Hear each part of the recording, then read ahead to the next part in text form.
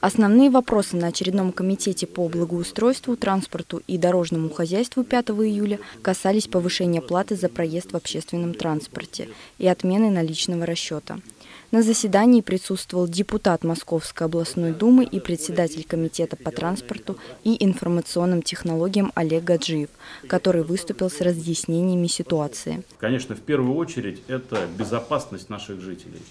Я не хочу приводить статистику, сколько аварий происходит, когда э, водитель рассчитывается и выдает сдачу, поворачиваясь к вам, дорогие жители, лицом и сдавая сдачу. Это раз. Срываются на маршрут. Вы опаздываете, потому что заходите в автобус, водитель начинает работать кондуктором. А водитель, э, правильно, не кондуктор и должен отвечать в первую очередь, чтобы вовремя подойти из точки А в точку Б, довести вас. И самое главное, безопасно.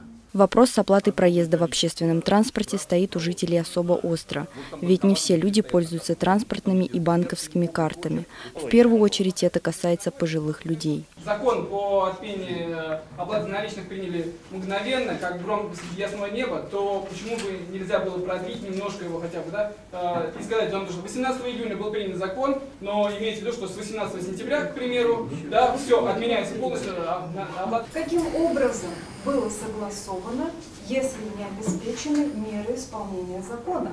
Если нет терминалов и люди лишены возможности исполнить данный закон, этот закон был, ну, правы граждане, недействительный, он не мог быть принят. Одни хотят с картой, другие не хотят с картой. Так вот вопрос, а в чем, собственно говоря, проблема?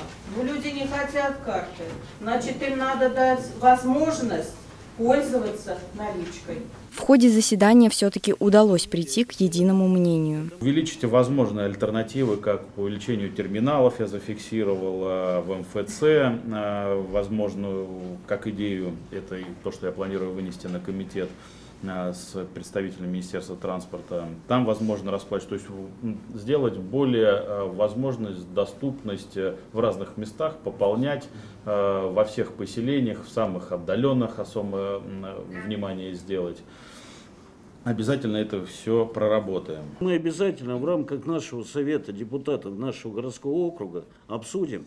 Здесь надо уже, и думаю, порекомендуем главе провести отдельное совещание с нашим участием, с представителями социальных структур, чтобы реализация закона на местах чиновниками других ведомств была исполняема. Также на заседании обсудили ситуацию с окосом травы. Все пожелания и замечания жители могут оставить на официальном портале правительства Московской области «Добродел» или обратиться напрямую в администрацию округа.